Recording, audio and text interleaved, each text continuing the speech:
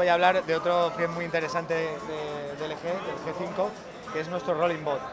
Con él podemos utilizar, es muy parecido a un dron, pero tiene otras funciones extras muy interesantes, como por ejemplo podemos entretener a nuestra mascota, podemos utilizarlo de manera inalámbrica desde la oficina, podemos utilizarlo como mando a distancia, podemos utilizarlo también como cámara de vigilancia y para ello disponemos de, estos botones. Tienes uno para el encendido, tenemos también altavoz para que por ejemplo podamos hablarle a la mascota y decirle cosas, Eh, también disponemos de infrarrojos para poder utilizar el mando a distancia, podemos también utilizar la cámara.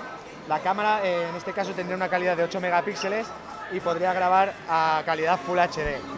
También dispone de sensores de 9 ejes para poder utilizarlo y la velocidad sería de 40 segundos por centímetro. Para poder cargarlo también lo puedes hacer a través del cable tipo C y admite una tarjeta de memoria hasta de 64 gigas. Luego la inclinación en la cual puede trabajar serían de 10 grados. Esto sería el menú que podemos ver cuando utilizamos el, el Rolling Bot. Entonces tenemos por una parte el infrarrojos donde podemos configurar tanto la televisión como si queremos configurar otros dispositivos como equipos de audio, aire acondicionado y es disponible para cualquier marca y no hace falta que sea Smart TV, por supuesto, porque es infrarrojos. Hasta la tele de tu abuela la puedes conectar ahí. Entonces, por una parte sería el infrarrojos, por la otra sería la- el- lo que es el, el speaker para poder hablar, para grabar la voz, el sonido. El PET, que sería chulísimo, que es para poder utilizar con la mascota. Si veis, veis el puntero, ¿vale? Ahora funcionaría totalmente independiente con la, con la mascota. Con esto lo pararíamos y luego tiene el botón de parking para que pueda volver a su base y poder cargarse.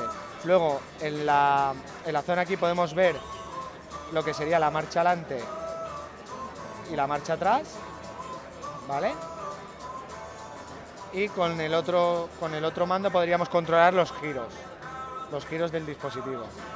Después tendríamos la opción de grabación, que sería, o sea, la opción de foto, que sería a 8 megapíxeles, y la grabación que sería Full HD. Como veis es muy, muy sencillo para, para poder utilizarlo. Para poder girar, eh, gira sobre dos esferas. La única parte que no se movería sería la del centro. Entonces, gracias a esos rodamientos, permitiría hacer los giros y la aceleración tanto adelante como para atrás. El dispositivo se puede conectar a través de Wi-Fi y de Bluetooth. Entonces, gracias a eso podemos controlarlo desde, desde, por ejemplo, desde casa, desde la oficina, desde cualquier sitio, ¿vale? Mientras el dispositivo está en casa. Y luego, además, también podemos eh, también va a ser compatible para cualquier dispositivo Android. O sea, nadie se va a poder privar de, de poder utilizar nuestro Rolling Bot.